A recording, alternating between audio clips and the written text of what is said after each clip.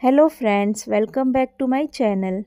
आज मैं आपके साथ शेयर करने वाली हूँ ऑरेंज स्पंज केक की रेसिपी। अभी सर्दियों के सीज़न में ऑरेंजेस आसानी से अवेलेबल होते हैं मार्केट में, इसलिए ये सीज़न एकदम परफेक्ट है ऑरेंज स्पंज केक बनाने के लिए। ऑरेंज स्पंज केक इजीली घर में बन जाता है और ये एकदम सॉफ्ट, स्पंजी और फ्लफ़ी केक बनता है। खाने में ये केक बहुत ही टेस्टी और फ्लेवरफुल होता है। तो चलिए बनाना शुरू करते हैं orange sponge cake orange sponge cake बनाने के लिए सबसे पहले मैंने यहाँ पर दो ऑरेंजेस लिए हैं।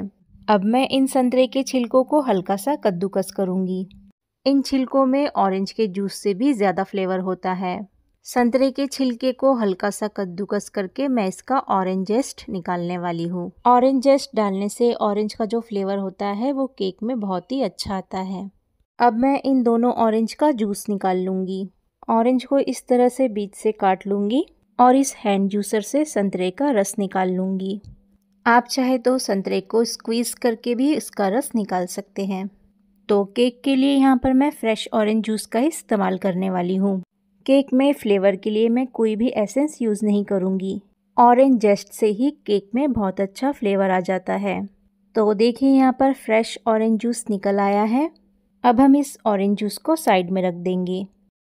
अगला जो स्टेप है, वो है केक टीन को रेडी करना। मैंने यहाँ पर छः इंच का केक टीन लिया है। तो सबसे पहले हम इसमें थोड़ा सा कोई भी बिना फ्लेवर वाला ऑयल डालेंगे। ऑयल को हम केक टिन के अंदर पूरा फैला देंगे। यहाँ पर मैंने केक टिन के साइज़ का बटर पेपर लिया है। बटर पेपर को मैं केक टिन के अंदर रख दूँगी और इसे केक टिन में अच्छे से चिपका दूँगी। अब इसी बटर पेपर के ऊपर मैं थोड़ा सा ऑयल और ग्रीस कर दूँगी। तो केक बनाने के लिए यहाँ पर मेरा केक कटिंग रेडी हो गया है। अगला स्टेप है केक के लिए बैटर बनाना। आज मैं अंडे वाला केक बना रही हूँ। इसके लिए मुझे दो अंडे चाहिए। दोनों अंडों को तोड़कर मैंने एक बड़े से बॉल में डाल दिया है। अब मैं इसमें ऐड करूँगी तीन चौथाई कप शक्कर। इसके बाद मैं हैंड विस्कर की मदद से अंडे और शक्कर को अच्छे से फेंट लूँगी। आप चाहे तो शक्कर के बदले शक्कर का पाउडर भी इस्तेमाल कर सकते हैं। अंडे और शक्कर को हमें तब तक फेंटना है जब तक कि शक्कर पूरी तरह से मेल्ट ना हो जाए। तो देखिए, अब मैंने शक्कर और अंडे को अच्छे से फेंट लिया है और ये मिक्सचर थोड़ा सा फूल भी गया है। अब मैं इसमें ऐड करूँगी one fourth cup oil oil लेते समय हमें इस बात का ध्यान रखना है कि ऑयल में किसी भी प्रकार का फ्लेवर नहीं होना चाहिए। अब मैं ऑयल को भी इसमें अच्छे से मिक्स कर लूँगी। ऑयल के बदले आप यहाँ पर बटर का भी इस्तेमाल कर सकते हैं और बटर को आप मेल्ट करके ही इसमें डालें। तो सारी चीज़ें अच्छे से मिक्स हो गई हैं। अब हमें इस बैटर में ड्राई इंग्रेडिएंट्स ऐड करना है। लेकिन उसके पहले हमें एक ज़रूरी काम करना है, वो है कुकर को प्रीहीट करना। इस केक को मैं कुकर में बनाने वाली हूँ। अब यहाँ पर मैंने एक कुकर को गैस पर चढ़ा दिया है और गैस की फ्लेम को मैंने लो टू मीडियम कर दिया है। अब मैं कुकर के अंदर इस तरह की एक रिंग रख रही हूँ। आप इसके बदले कोई स्टैंड भी रख सकते हैं या फिर किसी प्लेट को उल्टा करके भी रख सकते हैं। अब मैं कुकर का ढक्कन लगा दूँगी और कुकर की सीटी निकाल दूँगी। तो कुकर जब तक प्रीहीट हो रहा है, तब तक हम केक का बैटर बना लेते हैं। यहाँ पर मैंने अंडे, चीनी और ऑयल को मिक्स कर लिया था। अब मैं इसमें ऐड करूँगी एक कप मैदा। केक के लिए जो ड्राई इंग्रेडिएंट्स होते हैं, उन्हें हमें छान के ही लेने पड़ते हैं। मैदा को अब मैं छन्नी में अच्छे से छान लूँगी। ड्राई इंग्रेडिएंट्स छानने से उसमें कोई भी लम्ब नहीं रहता और केक अच्छे से फूलता है। मैदा मैंने छान लिया है। अब मैं इसी छन्नी में ऐड करूँगी एक चम्मच बेकिंग पाउडर और इसे भी मैं छन्नी से छान लूँगी। अब मैं इन सारी चीज़ों को अच्छे से मिक्स कर लूँगी। बैटर को हमें हल्के हल्के हाथों से मिक्स करना है। बैटर को हम इस तरह से कट एंड फोल्ड मेथड से मिक्स करेंगे। अब जो हमने ऑरेंज जेस्ट निकाला था, उसे भी हम इसमें मिक्स कर लेंगे। यहाँ पर ऑरेंज जेस्ट लगभग एक चम्मच है। इसी के साथ हम इसमें ऐड कर देंगे ऑरेंज जूस मैं इसमें एक साथ पूरा जूस नहीं डालूँगी।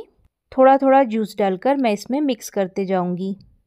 ये बैटर अभी भी थोड़ा टाइट लग रहा है, इसलिए इसमें मैं और थोड़ा सा ऑरेंज जूस डालूँगी। कट एंड फोल्ड मेथड से ही हमें इस बैटर को मिक्स करते जाना है। मुझे लगता है और इसमें थोड़ा सा ऑरेंज जूस लगेगा। तो मैंने इस बैटर में पूरा ही ऑरेंज जूस डाल दिया है। तो फ्रेंड्स आप जानते हैं हम ऑरेंज केक बना रहे हैं। इसलिए इस बैटर में मैं थोड़ा सा ऑरेंज फ़ूड कलर डाल रही हूँ, जिससे इस केक में हल्का सा ऑरेंज कलर आएगा और ये केक दिखने में बहुत ही अट्रैक्टिव लगेगा। लेकिन फ़ूड कलर डालना टोटली ऑप्शनल है। आप इस केक को बिना फ़ूड कलर ऐड किए भी बना सकते हैं। तो देखिए फ़ूड कलर अब बैटर में अच्छे से मिक्स हो गया है।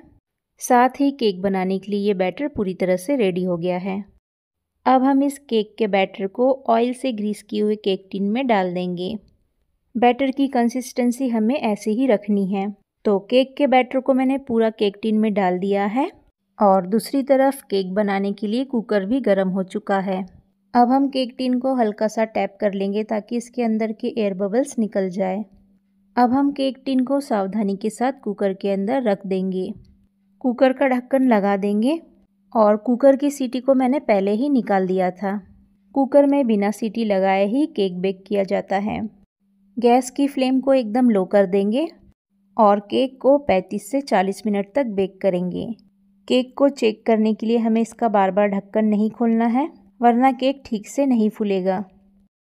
40 मिनट के बाद हम कुकर का ढक्कन खोलेंगे और केक को चेक कर लेंगे। केक तो यहाँ पर अच्छे से फूल चुका है तो अब हम चेक कर लेंगे केक ठीक से पका है या नहीं। इस तरह से केक के अंदर चाकू डालकर हम चेक करेंगे। आप देख सकते हैं चाकू एकदम क्लीन निकल आया है, यानी यहाँ पर केक बिल्कुल परफेक्ट बेक हो गया है। अब हम इस केक को थोड़ा सा ठंडा कर लेंगे, उसके बाद ही इसे डिमोल्ड करेंगे। तो अब केक यहाँ पर अच्छे से ठंडा हो गया है, अब हम इस केक को डिमोल्ड करेंगे। केक में बहुत ही अच्छा कलर आया है। तो सबसे पहले हम केक के चारों किनारों को चाकू से इस तरह से छुड़ा लेंगे। इसके बाद हम केक टिन के ऊपर एक प्लेट रखेंगे और केक टिन को पलट देंगे। इसे थोड़ा सा टैप करेंगे तो देखिए केक बहुत ही आसानी से बाहर निकल आया है। अब मैं केक का बटर पेपर निकाल दूँगी। आप देख सकते हैं ये केक नीचे से भी कितने अच्छे से बेक हुआ है और ऊपर से भी परफेक्ट बेक हुआ है। तो देखा आपने फ्रेंड्स, इस ऑरेंज केक को बनाना कितना आसान है और खाने में भी ये केक बहुत ही डिलीशियस लगता है। एकदम सॉफ्ट, स्पंजी और फ्लफ़ी केक बना है ये, बहुत ही अच्छे से बेक हुआ है और इस केक में ऑरेंज की बहुत ही बढ़िया खुशबू आ रही है। तो चलिए अब मैं इस केक को आपको काट कर दिखाती हूँ। काटने से ही समझ में आ जाता है ये केक कितना सॉफ्ट बना है। तो आप अंदर से भी देख लीजिए ये केक कितने अच्छे से बेक हुआ है। बहुत ही सॉफ्ट और स्पंजी केक बना है ये।